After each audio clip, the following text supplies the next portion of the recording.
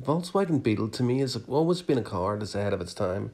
To me, it's always had some amazing design characteristics.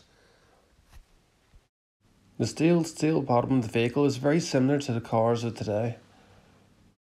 When you see the floor pan of the vehicle removed, it reminds you very much of the skateboard system it is in many electric cars of today. The air cooled engine to the rear of the vehicle had a couple of advantages over any vehicle that has an engine to the front.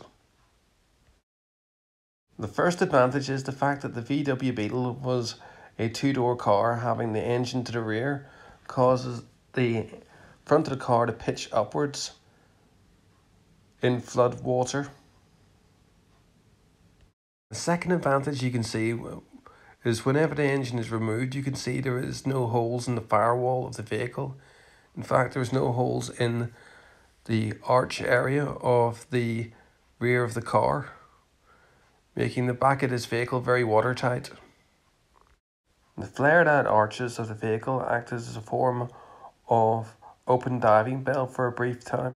The high roof meant to say there was more air capacity, along with the vehicle's decent door seals for the time, meant to say it would trap the air inside the vehicle, thus acting as a float. The sealed in floor pan of the vehicle meant to say there was very little water getting into the front. As you can see, there is very few holes in the lower section of the vehicle apart from the steering column.